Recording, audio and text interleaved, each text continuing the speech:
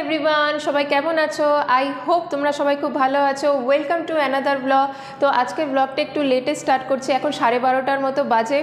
তো আর আগে যা যা হচ্ছে আই হোপ তোমাদের দেখতে ভালো লাগবে।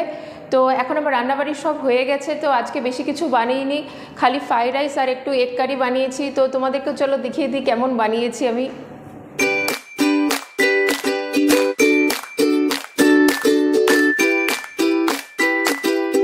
বাড়িতে সেরকম সবজি নেই। তো কালকে বেরিয়েছিলাম কিন্তু সবজি কিনতে ভুলে গেছি। তো চেষ্টা করব আজকে গিয়ে কিছু সবজি নিয়ে আসার, আর না হলে কালকে বেরোবো। তো আজকে যা আছে সেটা দিয়ে কাজ চালাতে হবে। তো চলো আজকে তোমাদের তো বাইরের ওয়েদারটা দেখানো হয়নি। তো বাইরে গিয়ে চলো তোমাদের আজকে ওয়েদারটা একটু দেখিয়ে দিই। তো দেখো আমি বাইরে এসে দেখি কতগুলো মাংকি এসছে। দেখো দেখতে পাচ্ছ কি না দেখো কত মাংকি এসছে এখানে। তো ওই যে ওখানে আম গাছটা আছে, ওখানে ওরা একটু খেলা করে। তো আজকে ওয়েদারটা ক্লাউডি আছে, হালকা হাওয়া দিচ্ছে। তো ওয়েদারটা খুবই ভালো, একদমই গরম নেই। খুব সুন্দর ওয়েদারটা ওখানে যে কাঁঠাল গাছটা দেখছ, ওখানে দেখো কাঁঠালগুলো অনেকটা বড় হয়ে গেছে এখন। তো পাড়া হয়নি এখনও কাঁঠালগুলো। এখন একটু ব্যালকনিতে বসেছিলাম, তো দেখছিলাম মাংকিগুলো ওই আম গাছে চড়ে, আমগুলো টেস্ট করে করে দেখছে যে এখনও পেকেছে কি না তো ক্যামেরা হয়তো বোঝা যাবে না, কিন্তু ওরা ওখানে সুন্দর বসে আছে গাছের মধ্যে। আবার মাঝে মাঝে গাছগুলোকে একটু ঝাঁকুনি দেয়। ঝাঁকিয়ে একটু আমগুলো ফেলানোর চেষ্টা করে। ওখানে কি সুন্দর একটা ছোট্ট বেবি মাংকি বসে আছে। কিছুক্ষণ আগে ও পাইপ থেকে চড়ে চড়ে নামছিল। এখন আবার হেঁটে যাচ্ছে ওইদিকে। ওই দেখো সারা দিন এদের দুষ্টুমি চলে সারা দিন এদের দুষ্টুমি চলে। তো ওরা দুষ্টুমি করে ঠিকই সারা দিন একটুখানি, কিন্তু ওরা না থাকলে হয়তো জায়গাটা আরও অতটা ভালো লাগতো না। ওরা আছে বলেই তাই আরও বেশি বেশি ভালো লাগে জায়গাটা। তো সবসময় ওদের দুষ্টুমি এটা ওটা করতে থাকে কখনো না কখনো কিছু না কিছু। ওগুলো দেখতে খুবই ভালো লাগে। দেখো বোঝা যাচ্ছে কি না কিন্তু দেখো বেবি মা ওই যে ওখানে মামা মাঙ্কি মামা মাঙ্কির গায়ে একটা বেবি মাঙ্কি পুরো চিপকে আছে কি সুন্দর। খুব মিষ্টি লাগছে। তো বেশ কিছুক্ষণ আমি এখানে বসেছিলাম। মাংকিদের দেখছিলাম, একটু গাছপালা দেখছিলাম, হাওয়া খাচ্ছিলাম। এবার আমি তাড়াতাড়ি উঠে পড়ব, উঠে পড়ে কিছু ওয়াশিংয়ের কাজ আছে, সেগুলো করে নেব। সেগুলো করে নিয়ে পরে তোমাদের সাথে আবার কথা হচ্ছে।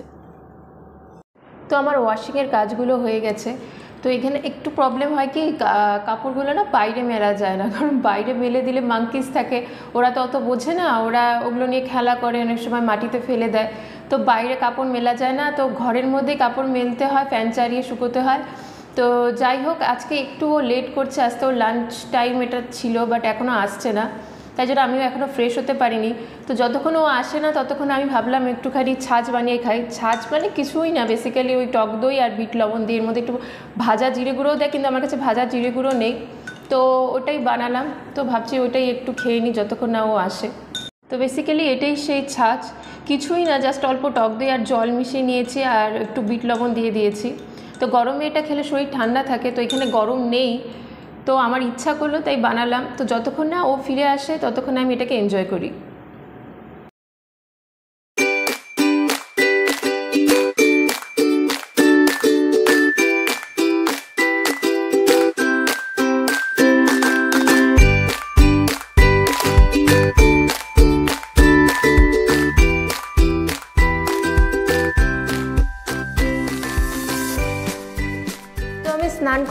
হয়ে নিয়েছি আর ততক্ষণে ও চলে এসছে।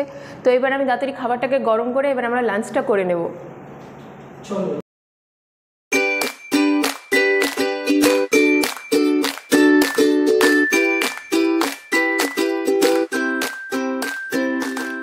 তো এখনও অফিস থেকে চলে এসছে। আজকে একটু বেশি সময় বিজি ছিল। তো তখন আমি ছাঁচটা খেয়েছিলাম, কিন্তু ওকে ছাঁচটা দেওয়া হয়নি। তো এখন ওকে গিয়ে ছাঁচটা দিই, দেখি ওর কেমন লাগে।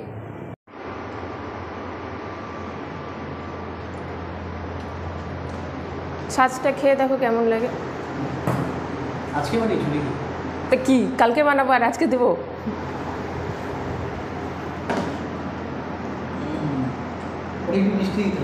না এটার নাম কিম ছাঁচ তাহলে তো ওটা চিনি চিনি দিলে তো আর কি লাভ হলো? একটুখানি ইয়েই খায় ওটা সল্টিটাই হয় এরকমই খায় অনেকে। হুম। তো আজকে ফেরার সময় ও আম নিয়ে এসছে। তো সিজনের ফার্স্ট আম। তো এটাই ফার্স্ট আম আমরা ট্রাই করব। তো তিন চারটা আম নিয়ে এসছে সিজনের ফার্স্ট আম। এটা কী আম? বলতেও পারবে না বলতেও পারবে না। আমি বলি যে যখন আম কিনবে তখন জিজ্ঞেস মানে করে এটা আমাকে বলল এটা মাদ্রাসের আম ঠিক আছে? কালারটা দেখো সুন্দর। কালারটা বেশ ভালো আছে এই জন্য আমি নিয়ে এসেছি।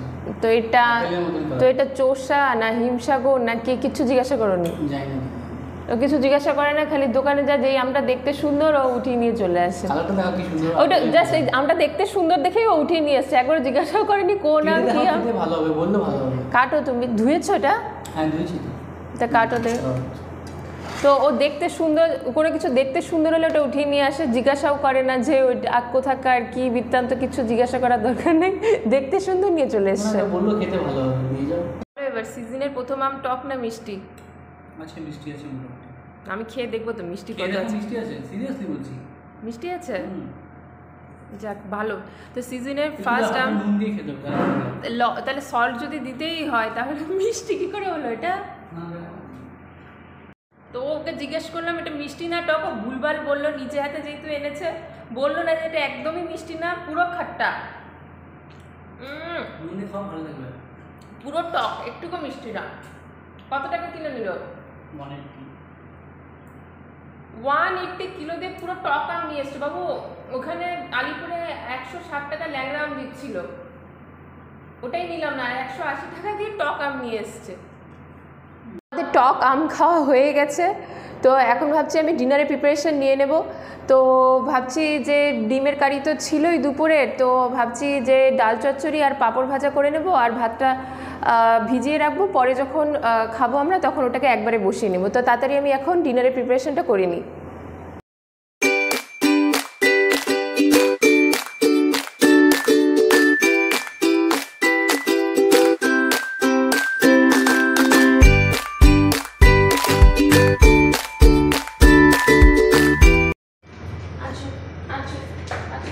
যা নিচে নিচে চা এখানে দাও এখানটায় দিয়ে দাও আর রাজু আর রানী কোথায় রানী